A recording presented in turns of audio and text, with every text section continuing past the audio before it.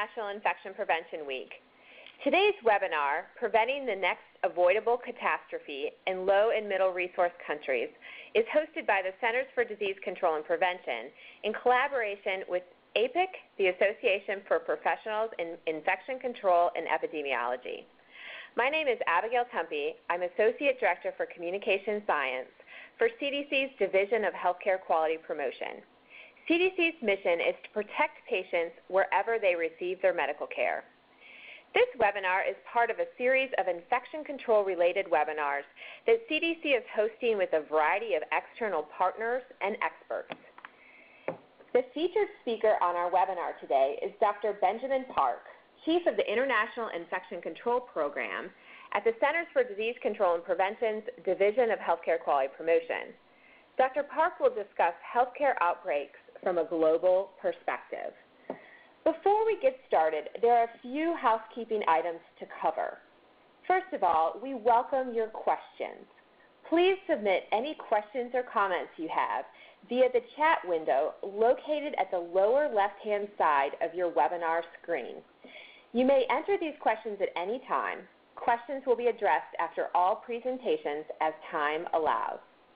To ask for help, please press the Raise Hand button located at the top left-hand side of your screen if you need to chat with a meeting chairperson for assistance due to technical difficulties during the webinar. As a reminder, to hear the audio, please ensure that the speakers on your computer are turned with the volume up. Today's conference should be coming through your computer or laptop speakers. Additionally, the slides from today's presentation will be emailed to all participants following today's discussion. Now it is my pleasure to introduce Linda Greene, President-elect of APIC, who will provide introductory remarks on behalf of the Association for Professionals in Infection Control and Epidemiology. Linda?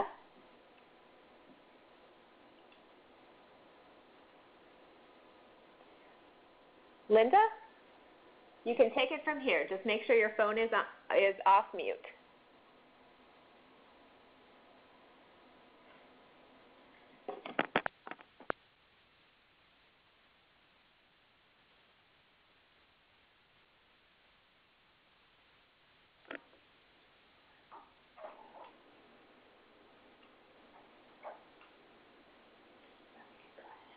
So hopefully we'll come back to Linda later in the presentation. It looks like we're having some te technical difficulties hearing her. Um, now I'd like to turn it over to Dr. Ben Park, who is going to um, take the conversation from here. Dr. Park? Thanks, Abigail. Um, it's really great to be on this webinar. Um, thank you for the invitation, and thank you to APIC um, and to also to our folks here at CDC for hosting the event. Uh, I'm really excited to be talking to you all. Um, you know, we got word that there were, you know, um, a few thousand people that registered, so I hope that this will go out to a lot of people. Um, so my name is Ben Park. I'm the Chief of the International Infection Control Program here at the Division of Healthcare Quality Promotion. And I'd like to talk to you about um, some of my experiences and some of the uh, priorities for CDC and for the U.S. government moving forward based on these experiences. And I think, you know, this, having International Infection Prevention Week is great and it's great to have so many people around the world in the U.S. and in other countries focused on infection prevention because it's such a critical topic.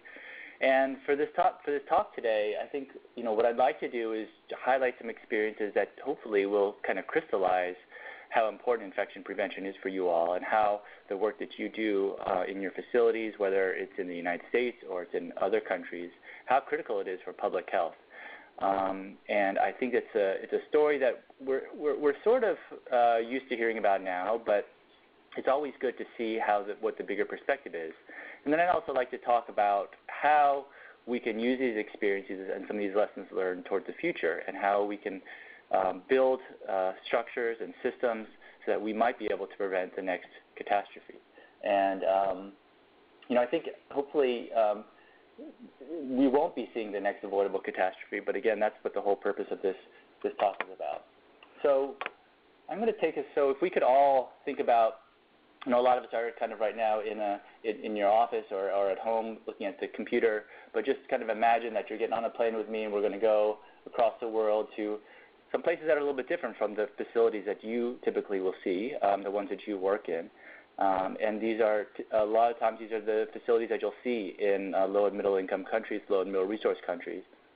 And I don't want to I don't want to make it seem like this is you know everything like that, that this is you know the what what we always see in these countries because of, because of course as many of us know there are many outstanding stellar facilities in in countries that have um, um, high rates of of poverty and, and lower incomes but I think one of the most crucial aspects to focus on are those weak links in the in the healthcare system, which are typically some of the w- lower resource environments.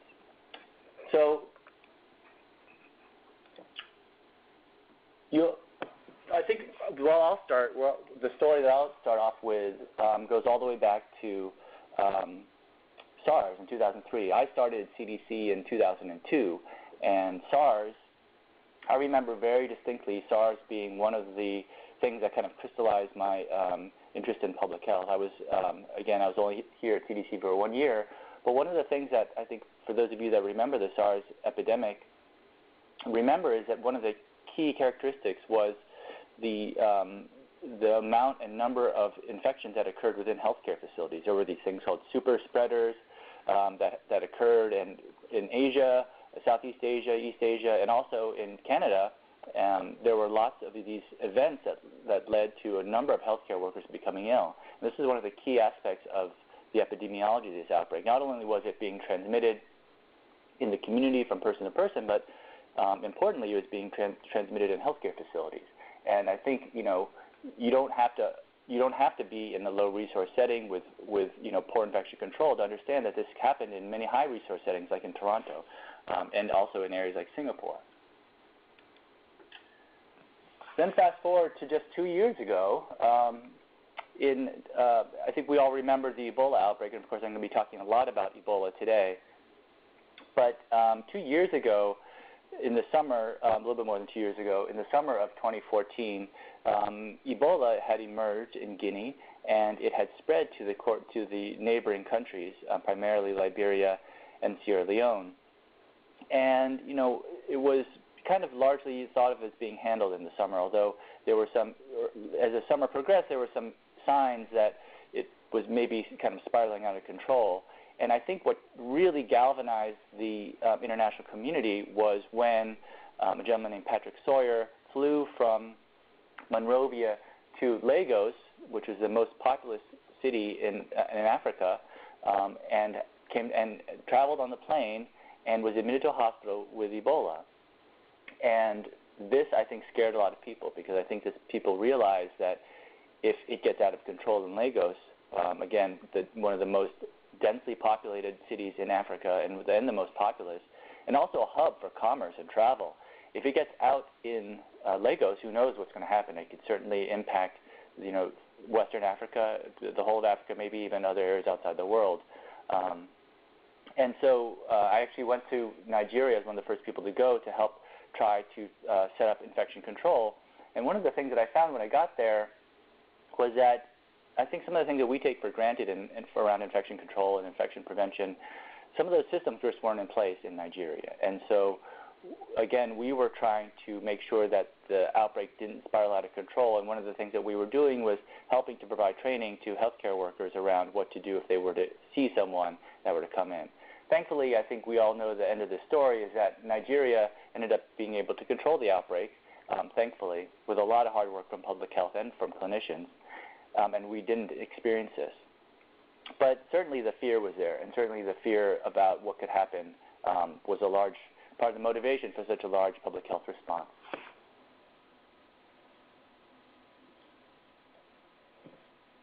But it didn't even stop there. I think Ebola is something that's all fresh in our minds, but you know, there is also something called MERS that we all might have heard about. Uh, certainly um, in the Middle East, it's it's uh, something that is um, a, a regional issue there. But you know, what we found after Ebola even was that these um, emerging diseases continue. Um, in in Seoul in 2015, um, a traveler from the Middle East went to Seoul and had a respiratory illness and, and ended up causing a number of infections throughout the city um, in many different hospitals. And there are a lot of reasons why these kind of this multifocal kind of outbreak happened, but one of the key components was really um, infection control precautions that weren't uh, adhered to, and um, and where infection control, um, especially in uh, emergency departments, was um, was was lacking. And so you know it's interesting. So I um, you know I'm Korean American, and my parents actually live in Seoul, and it was it's funny because um, this is probably the first time I think in recent memory that my parents like fully understood what it is that I do on a day-to-day basis because because they saw uh, how important MERS was and how how it impacted their economy. Actually, in South Korea, you know, I think the um, you know actually the the stock market went down. I think that you know uh, millions of dollars were lost because of the outbreak because of people were um, isolating themselves in, in their communities and their homes and were not traveling, as well as the healthcare system, which I'm going to talk about a little bit later, um, largely shut down for a period of weeks.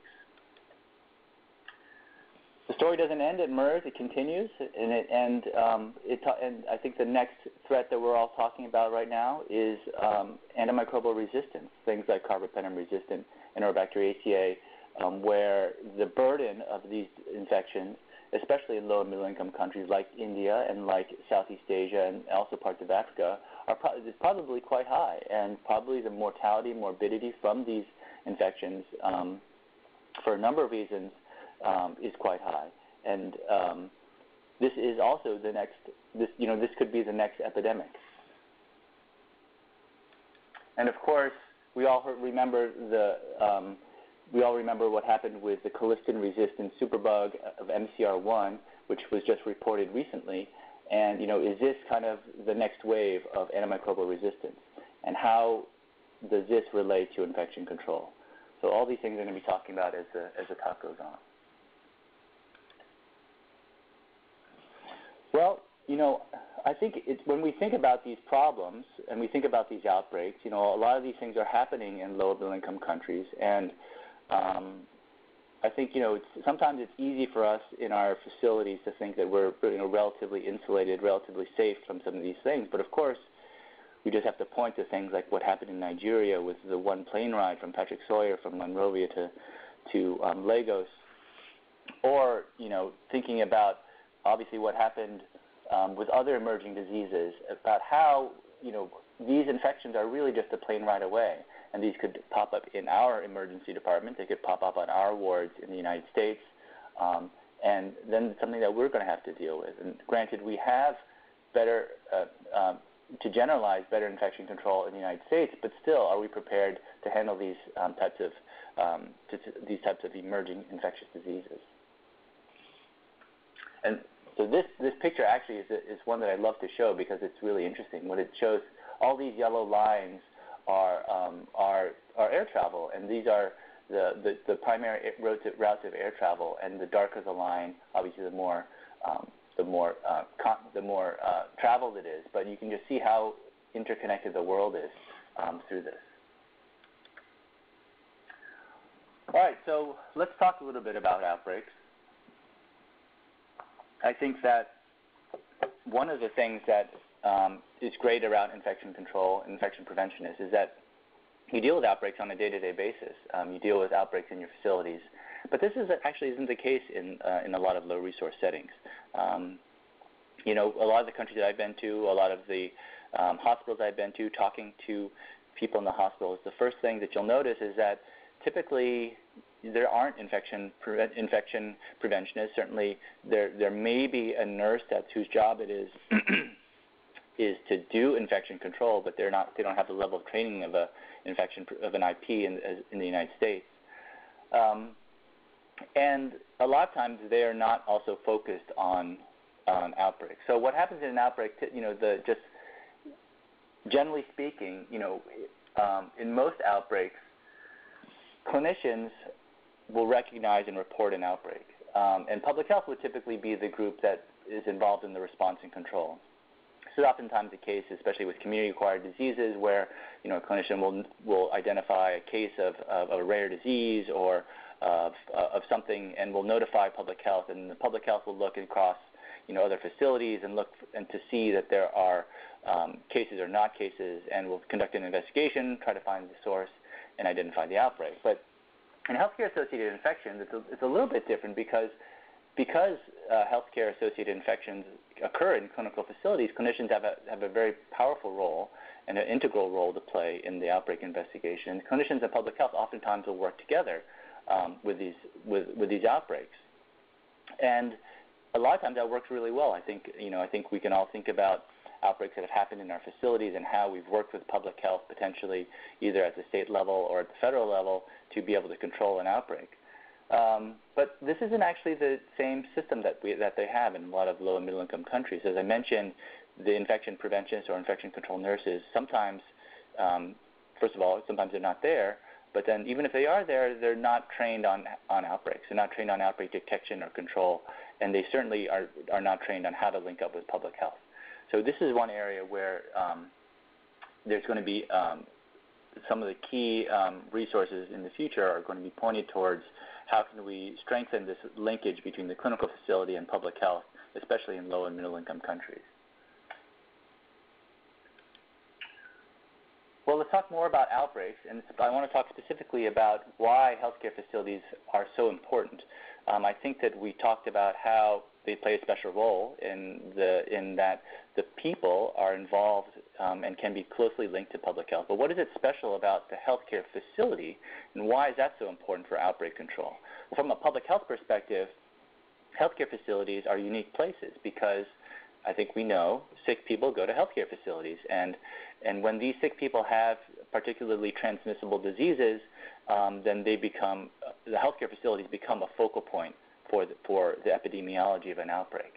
And this gets also back not only to the fact that patients, sick patients, go to healthcare facilities, and then that obviously becomes a key place where they are, but healthcare facilities also are important for the control of infectious diseases because if you think about what are the key principles for the control of transmissible diseases, there's you know the key things that public health professionals like to point to. There's isolation, vaccination, and prophylaxis. And these are the things that public health professionals will typically point to in any outbreak. So if it's an outbreak of influenza or, or cholera or something like that, these are key um, tools in the armamentarium to prevent diseases. And of course, isolation is something that happens um, at healthcare facilities as well as in the community, of course. But um, for healthcare facilities, this is a key principle.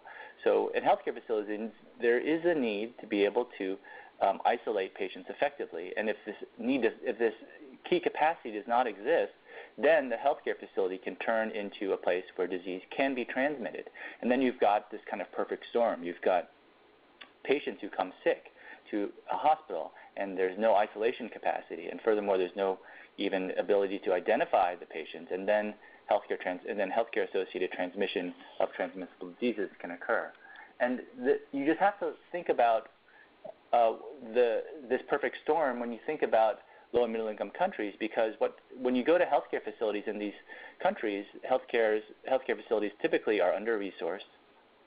You know, clinicians are overworked, and what that means is that you have things like this waiting room where um, they're very crowded. There are a lot of people there, and they're kind of you know, key setups for disease transmission. This is what we saw a lot with a lot of these outbreaks that I talked about earlier on that I was highlighting, is that emergency departments, as well as other areas in the wards, um, are just areas where disease can, can, can easily be transmitted from one person to another. And I think for a lot of us that are familiar with, um, with, with infection control, we just had look at one of these types of settings and we can see clearly that um, if, there, if one of the patients in this waiting room had MERS or had the next or had Ebola or had the next highly contagious um, disease, that this would be a very efficient way for that disease to spread. And I don't want to single out emergency departments as a, as, as a key problem area because there are many throughout healthcare facilities um, uh, on the ward. And I'm going to talk about, when we talk about Ebola, I'm going to talk about that a little bit. All right, well, let's talk about Ebola. Let's talk about what happened. And I think one of the key narratives that came out of the Ebola epidemic was um, that the healthcare system collapsed. And you know, I think for those of us that were following this closely, you know, there was initially there was disease transmission, and then it got worse, and then what we heard was that the healthcare system was collapsing, and you know, but I think it's it's worthwhile to examine that further, because what does it really mean when the healthcare system collapses? Um, you know, and I, I think we should we should talk about that. Now, with Ebola, the care for Ebola patients happened in two different areas. There was the general healthcare facilities, like a general hospital, and then there were the what we call the ETUs, the Ebola treatment units, where um, these were the these are the areas where patients with Ebola were treated, and um, these ETUs were generally staffed by um, uh, non-governmental organizations like Doctors Without Borders, like uh, WHO, um, like you know the um, uh, um, other other um, uh, governmental organizations that had pretty well, pretty good stocks of PPE and had the layout of the ETUs already designed because they were essentially constructed. And many of you may have seen pictures of this, and where there was you know a big field and there were these kind of big tent set up with you know this white sheeting, um, and people kind of beyond the fence had um, you know full you know uh, Tyvek on, and that is um, primarily the uh, where patients with Ebola were treated. And those actually were not where the dangerous um, settings were. If you actually look at the epidemiology of Ebola and and the healthcare associated cases, by and large, uh, people, um, the healthcare workers in these ETUs were safe, and patients did not typically transmit Ebola from one patient to another, and healthcare workers were generally pretty safe because they had good PPE, they were well trained, um, and there was good environmental cleaning. The dangerous areas really were the general healthcare facilities. These are the places where people um, because they didn't know if they were a contact or not, because there was such general transmission, people came to the healthcare facilities with a fever, and they had no idea if they, that they had Ebola. They could have had malaria, but because there wasn't this good recognition at the healthcare facilities, um, the healthcare facilities, um, the general healthcare facilities, is where Ebola became became transmitted. And so what happened was that Ebola actually turned out to be a story about IPC in general healthcare facilities. Um, in the general healthcare facilities, IPC was not being practiced well enough. And what happened was that disease transmitted from patient to patient, from, doc, patient to doctor, from doctor to patient, and doctor to doctor. Um, and, and going to say doctor, I mean healthcare professional, because it wasn't just doctors. Of course, there were nurses, there were cleaners, and many other people that were impacted. Um, and then this led actually to an amplification of the of the outbreak instead of control. So um, when these when when healthcare uh, providers left these facilities, went to their community, um, they could transmit it to their community, and this actually led to, again, as I said, an amplification. Whereas healthcare facilities should be, um, as I talked about, should be an area where they can control the disease with through good isolation, good recognition. Um, without that, it turned into actually um, an amplification. And so, as a result, you know, these healthcare facilities were quite dangerous places um, you know, um, early, in, especially at the height of the outbreak, and this is a picture taken from a hospital in Liberia um, um, in the height of the outbreak. These are literally places where there were there were there's a lot there were extremely dangerous places where um, it was it was unsafe to go into these into these facilities. And um, as you can imagine, these are would be areas where um, if we could recognize the danger, clearly patients understood, and doctors understood, and, and nurses understood, and cleaners understood that these were dangerous areas. And as a result, um, patients stopped going to healthcare facilities. Um, a lot of physicians, a lot of nurses, a lot of cleaners, a lot of staff refused to come to work because there was no there was little there were little PPE, there was little training around how to protect themselves, and you know they were um, extremely dedicated individuals, but at the same time, you know they understood that you know, they, they were highly risky areas. And so what happened was that patients, as I mentioned, stopped going to healthcare facilities. Staff stopped coming, stopped coming to work. And this impact was felt across the healthcare system. So um, core essential services like immunizations and like deliveries at healthcare facilities declined rapidly. These are two um, figures taken from um, an, an, evaluation of the impact of the Ebola outbreak on health systems in Sierra Leone.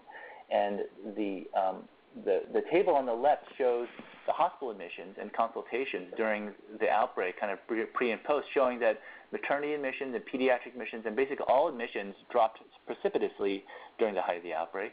And the graph on the right shows the number of children that were vaccinated in, in this one area called Koinadugu in Sierra Leone, showing tremendous drop off in vaccinations. So what this means is essentially that you know core public health functions like delivering babies in a hospital, like vaccinating children, you know these were things that that fell by the wayside because people stopped accessing health care. So fundamentally, all of this was a ripple effect from poor infection control. So when we talk about the healthcare system collapsing, what we're really talking about was that IPC collapse, infection control collapse, leading to a further um, deterioration of the healthcare system and of public health in general. So I think this is a story, you know, when, when now when people think about Ebola, when people talk about how the healthcare system collapsed and how the healthcare system needs strengthening, I think it's important for us to point out, well, what do you mean the healthcare system needs strengthening? What needs strengthening? And I, infection control should be a key area of that conversation. But as I mentioned earlier in the talk, you, you, know, this is not something that should be thought of as isolated in low in the kind of poorest countries in, in West Africa. I think that was certainly a key determinant. Certainly, it was something that helped um, the outbreak spiral out of control. But we see this all the time. We see, of course, uh, uh, for those of you that work in healthcare facilities, you see outbreaks that happen all the time in your healthcare facilities. And as I pointed out with MERS, um, this can happen in strong healthcare systems too. Of course, SARS in Toronto, um, in Singapore, you know, of course, issues around CRE and um, and and and um, other transmissible diseases. These can happen in our healthcare facilities, and it's not. I, I don't think that I don't think it would be wise to think that okay, my healthcare system has enough PPE and my healthcare system has enough um, training. Um, it can't happen here. It can happen in any healthcare facility, but, but of course, those without training and those without the key um, key key material um, are at higher risk. So this brings us to the issue around preparedness, and it brings us to the issue around what is the world doing to help to prepare to respond. Well, after the SARS epidemic in 2003, there was something that the world came together and um, developed something called the International Health Regulations. And the International Health, Health Regulations were designed um, in 2005, and all 194 countries of the world signed on to this. I think it's a treaty through WHO to essentially um, provide the core components around um, preparedness to prevent the next kind of catastrophic thing from happening. And these were uh, these are the international health regulations are a, a core set of um, of functions that health healthcare systems and governments should do in order to prepare themselves for the next outbreak. And there was an assessment in 2014 that showed that only 30% of countries were fully prepared to detect and respond to an outbreak, showing essentially that you know in the you know 11 in the 11 years since SARS and the nine years since IHR was was implemented, there's still a large gap in 2014. And of course, we saw what happened in 2014 with the Ebola outbreak. So overall, the world generally needs more work in this in this in this preparedness. And when you talk about preparedness, of course, one of the key components, as I mentioned, around preparedness is around healthcare, healthcare facility and IPC. And, and IPC is one key component around international health regulations. Of course, in international health regulations, there are other things besides IPC, but that is one key component in what we're talking about today. So there was a study um, in, during the height of the Ebola outbreak trying to look at to see to see if hospitals were prepared um, around the world for Ebola virus disease. And this slide focuses on Africa because of, because I think it's it's important to see that you know Africa was clearly one of the areas where um, that we're focusing on in terms of low and middle resource areas, and it's also the area, the continent that was probably the most at risk for developing transmission of Ebola. But even in, in Africa, at the height of the outbreak, you know, um, only about um, only a third of um, of um, so a third of the respondents from this survey were from Africa, but um, of these people, you know, preparedness for Ebola was really only partially adequate.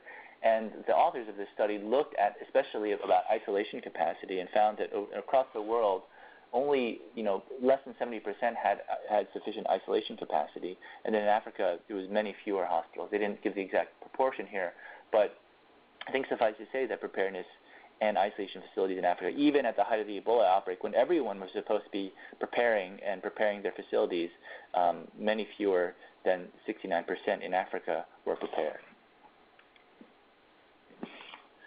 Well, I think easier said than done, right? I think a lot of us can can can say that these things have to happen and these things are so important, but um, it's it's difficult to actually get these things done, and it's difficult.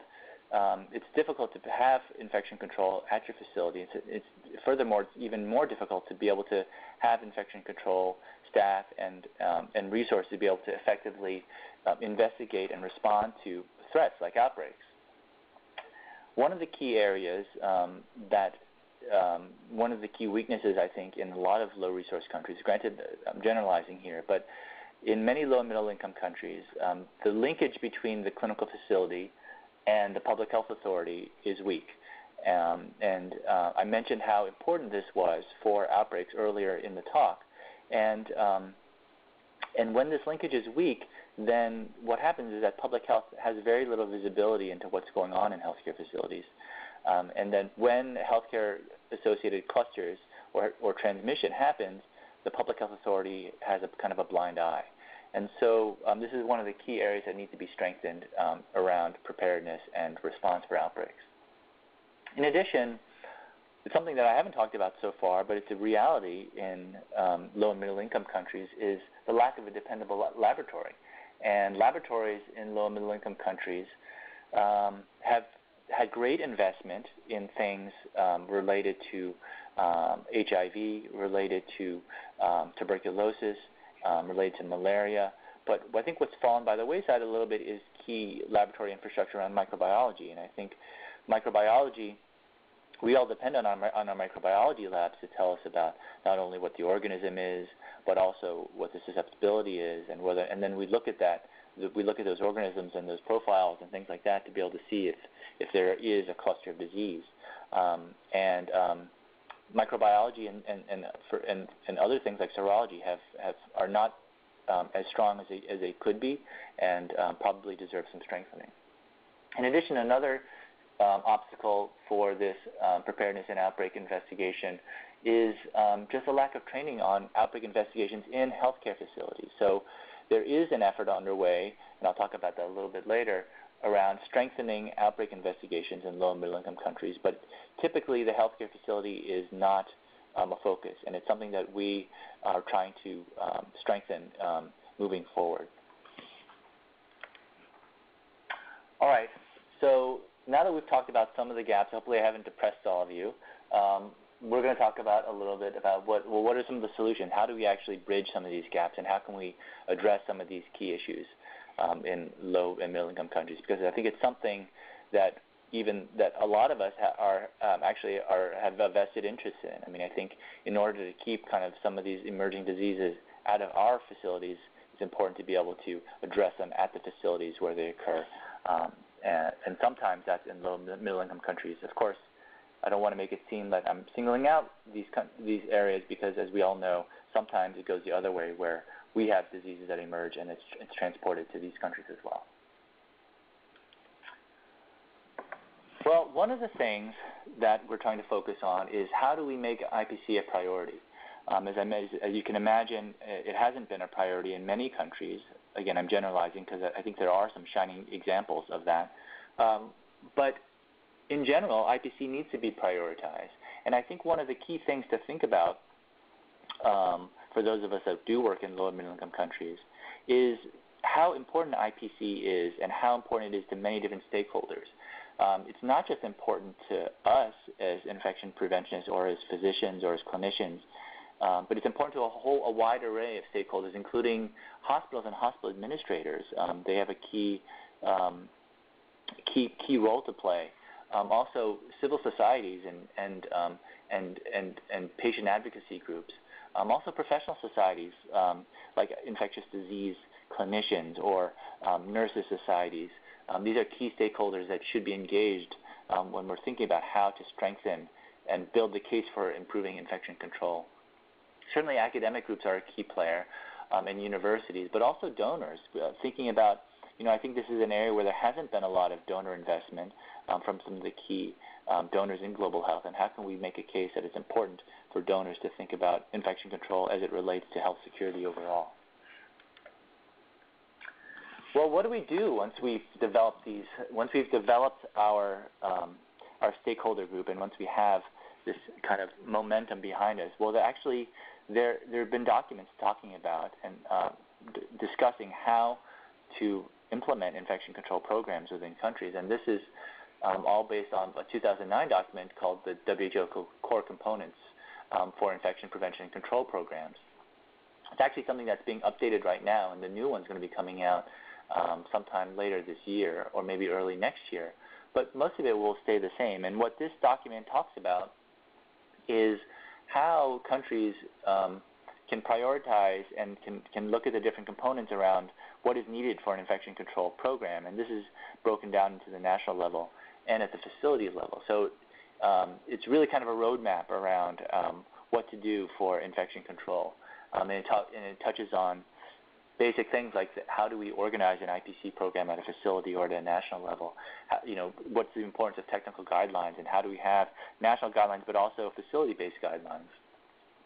Prioritizing human resources, doing surveillance, the importance of the micro lab, which I've already mentioned, the importance of the environment and cleaning and hygiene, um, and water and, and sanitation.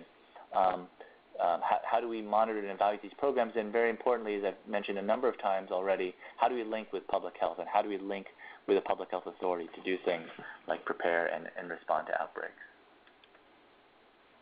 So this brings me to a, um, an initiative by the U.S. government um, as well as uh, other governments around the world, um, which was born out of the Ebola crisis. I think um, I've painted a picture that shows that um, there needs to be a lot of investment within um, low and middle income countries around preparedness for outbreaks. One of that one one key component of that is IPC, but there are other key components, including building up laboratories, building up surveillance infrastructure, um, you know, building up um, uh, laboratory referral networks, building up information systems that can help respond to outbreaks. These are all kind of key components that were identified in the Ebola outbreak.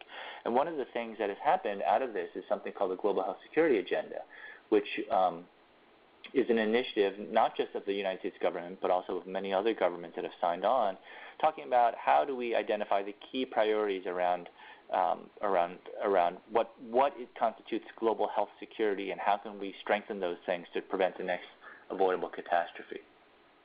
And what the Global Health Security Agenda is, it was launched in February 2014 to advance uh, a, world safe and secure for infectious disease threats. And this is something that um, the G7 endorsed. Um, it's something that um, initially Finland and Indonesia were the kind of leaders of this um, initiative, but a lot of countries throughout the world have signed on to this, um, have signed on to being um, a part of the global health security agenda, basically committing that they were going to not only not only um, follow the global health security agenda goals for their own country, but we're also going to try to help other countries meet those goals for global health security. And all of these global health security agenda activities fit into the international health regulations. They're all um, they all work are, are designed to work with IHR to be able to strengthen the IHR goals, so that again we can all prepare for the next um, uh, the next uh, pandemic or the next epidemic. So with global health security, there are three major risks that we're, that, that we're trying to address, and those are emerging organisms, drug resistance, and the intentional creation of, of, of a biohazard. Three opportunities, including societal commitment, new technologies, and success leading to more success.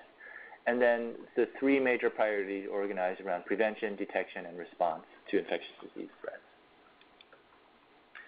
So these are organized around what we call action packages. And these action packages are things um, that we are targeting um, for investment for capacity building.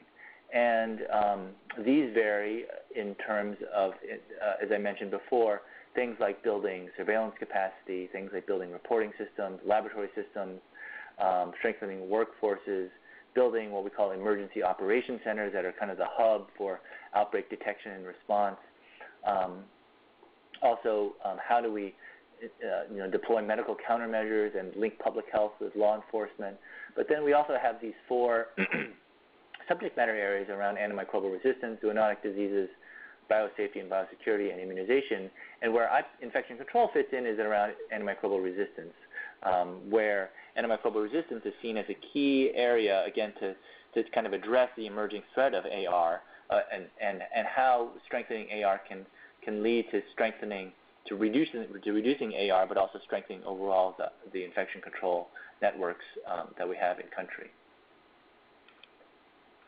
So talking a little bit more about this action package of AR, um, again, this is around the prevention um, uh, aspect, preventing uh, the, the, the, further emergence and preventing um, more AR, where um, there are a number of countries that have already signed on to really try to lead this multinational effort. And um, actually, the leading countries are, are currently Canada, Germany, the Netherlands and Sweden, and there are a number of other contributing countries. And what it means to be a leading or contributing country really means that um, the, you know to provide some of the technical assistance and knowledge around um, not only not only having your our own countries who have signed on meeting the goals of of this action package target, but also helping other countries um, achieve um, these goals as well.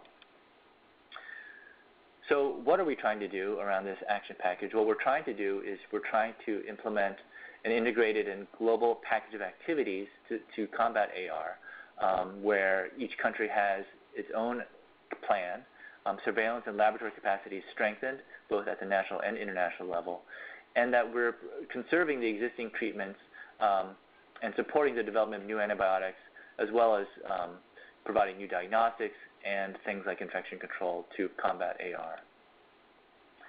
Um, countries are actively working on plans right now, uh, actively working on their um, their their uh, AR action plans, and this all fits in with what's called the WHO Global Action Plan for Antimicrobial Resistance. Um, and countries are also actively participating in twinning frameworks, and those twinning frameworks are really important. A twinning framework is is a, is a framework where one country is providing assistance to another country to um, to meet some of the goals around um, prevention of AR. Um, and then again, the impact is, of course, is to reduce AR um, and to uh, prevent the emergence of, of AR through strengthening surveillance and, um, and um, uh, regulation of appropriate antibiotics, um, both in the human and the animal side. So specifically, what is CDC doing? Um, you know, I think when we started off the the the, the, the, the talk, um, Abigail had this nice introduction, but many of you might have been wondering, like, what is this International Infection Control Program? Because it's something that maybe probably a lot of you haven't heard about. Well, I'm just going to spend a couple minutes talking about what this is because it's a new program that also was born out of Ebola, and it's something I think that um, something to be aware of because this is one of the key areas that CDC is helping to provide this type of technical assistance.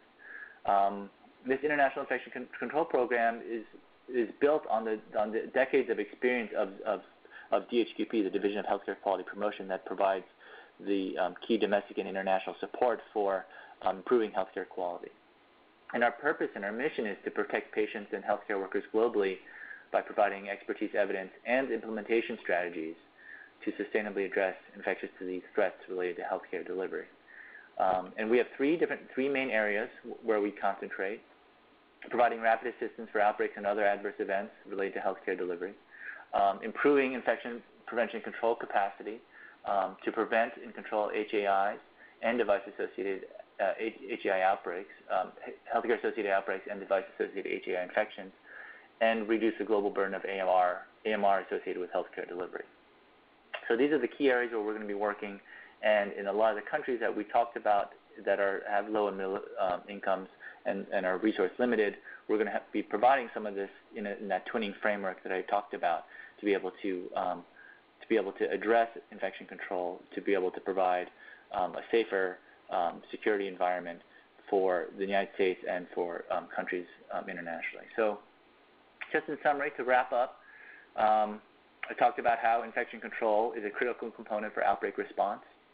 I talked about how infection control, IPC, and public health um, must be linked, and must, that link must be strengthened Um, I've also talked about how we can focus not only on the national systems but on subnational systems, so like facilities, and how facilities can focus on um, building that outbreak and infection control capacity for the long term.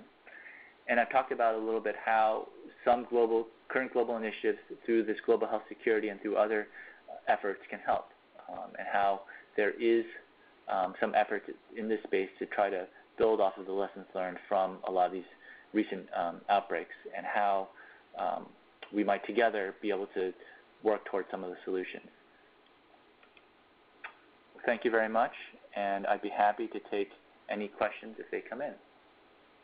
So this is Abigail Tumpey, and first, before we go to questions, we're going to try to get Linda Greene from APIC um, back on the line. So please hold with us for one second while we try to transfer her in.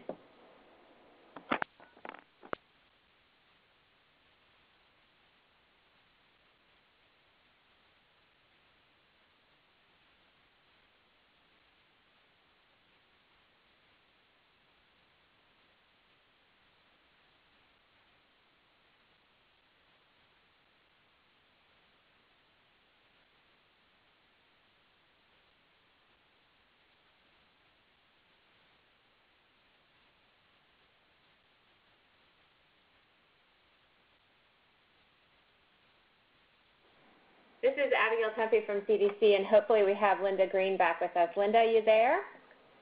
Yes, I am. Thank you so much, Abigail. Uh, as was mentioned earlier, my name's Linda Greene, and I'm president-elect of APIC, the Association of, for Professionals in Infection Control and Epidemiology. And I'm pleased that everyone joined today to participate in this webinar focusing on infection prevention and control in international settings. Because this webinar took place during International Infection Prevention Week, I would like to provide some background about I, in International Infection Prevention Week. International Pre- Infection Prevention Week takes place the third week of October each year and raises awareness of the role infection prevention plays to improve patient safety. Since International Infection Prevention Week was established in 1986 by President Ronald Reagan, APIC has spearheaded the annual effort to highlight the importance of infection prevention among healthcare professionals, administrators, legislators, and consumers. And over the years, this week of recognition has vastly expanded to every corner of the globe including Australia, the United Kingdom, the Middle East, and Southeast Asia. So, as the reach of Infection Prevention Week widens, more patients benefit from safer healthcare practices and reduced threat of healthcare infections. And I think Dr. Park's presentation really summed this up. So, the theme of this year's observance is Break the Chain of Infection. APIC has created tools to help healthcare professionals advocate and promote infection prevention, give it infection prevention special visibility, and facilitate conversations about why infection prevention matters. From sample social media posts to infographics to podcasts to interactive quizzes APIC has provided materials on how both healthcare professionals and consumers can help break the chain of infection. So visit apic.org, Infection Prevention and You, to access these materials and sign our infection prevention pledge. Together, we can break the chain of infection. Thank you for your commitment to infection prevention. We're honored that CDC again partnered with us on this International Infection Prevention Week, and we thank you all for listening today. Thank you so much. Thank you, Linda, and thanks for holding on um, so that we could get you back um, on the line. Um, we're going to go to our, our, questions and answers, and hopefully both um, Linda and Ben will be able to um, we'll get through as many questions as we can. Our first question, Ben, is what steps are being taken to ensure that low and middle resource countries um, are better prepared to recognize and control the emergence of antibiotic resistant infections? Thanks, Abigail. That um, is, a, is a great question, and it's something that we spend a lot of time thinking about and working on in our program and across CDC in general. You know, I think we are just starting to see how important AR is at, on the domestic side, and I think a lot of us who work in healthcare facilities um, think about this every day, especially from an infection prevention standpoint. And there's a, to be honest with you, there's a lot of work that needs to be done in the international setting because, you know, I think that our perspective in the United States, you know, we, we look at how equipped we are um, to handle these problems. And I just want you to think about a healthcare facility right now. So let's let's go to um, you know a country in a, in a lower middle income country um, where number one, your your ward you don't have single patient rooms. Your ward is an open ward. So um, what that means is there's a big room with, um, let's say, 20 beds, um, and there's one nurse's station at the end of the at the end of the room. It's a long room, and there are curtains between each room. It will, well, sometimes there are no curtains, but a lot of times there are. Um, and the beds um, they're meant they're meant to hold 20 they're meant to hold 20 beds, but it actually in this ward there are 30 beds because of overcrowding. They need to kind of squeeze more beds in there. Some of those beds are on the floor because there aren't enough gurneys, so they have either a mattress on, directly on the floor or there's um, a blanket that, they're that a patient is sitting on on the floor. Sometimes there are two people on a bed because they need to fit more people, and um, and both patients patients are kind of occupying the same bed. Um, there's one hand hygiene station that's at the nurse's station at the end of the at the end of the room. Um, there's one um, bathroom facility which may or may not be working, um, and when you look at this type of situation, oh, and then there's also the the, the, the laboratory can do things like a, a hematology profile, it can do a chemistry, but there's no microbiology, and there's no serology, um, and there's very limited ability to be able to kind of diagnose the, the exact microorganism. Um, so that's unfortunately the reality in a lot of um, low-income and middle-income um, countries where, um, and of course that's a generalization, but I just wanted to paint a picture for you. So you think about AR and you think about how the other thing to mention is that you know a lot because there is no microbiology, clinicians will will typically treat empirically with um, antibiotics, and typically they're going to be broad spectrum antibiotics because um, they don't know what they're treating, so they have to use something that's, that has a broad spectrum. Um, so when you're faced with that, it's really kind of a perfect storm of developing antimicrobial resistance and then spreading it around the facility. Uh, and so the solutions to that are complicated, um, but it's certainly something that we're focusing a lot of our energies on right now. It's not just the CDC, WHO, other partners are working towards this, um, and hopefully, um, hopefully we'll be able to make um, some progress in this area. But um, some of the key challenges that we that we face are around number one, just having a laboratory that can be that can help clinicians identify what these organisms are, um, so that they can um, appropriately treat patients with the correct antibiotics, and practicing basic infection control and preventing things like patients sharing the same bed or um, you know patients um, being on the floor.